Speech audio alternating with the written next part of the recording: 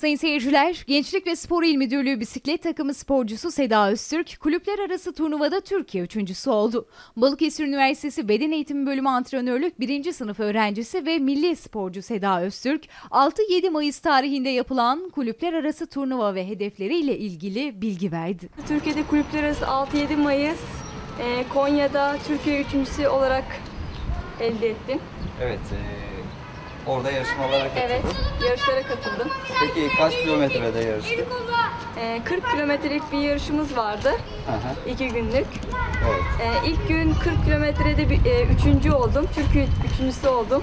İkinci gün dördüncü oldum, az bir farkla üçüncülüğü kaçırdım.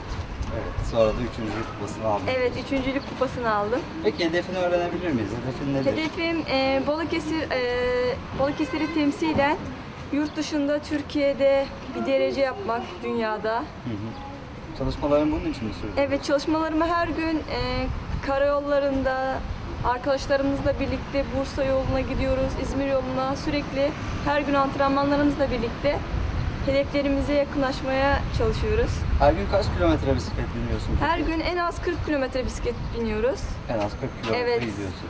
Susurluğa gidiyoruz bazen. Hı hı. Bazen e, Manisa tarafına gidiyoruz.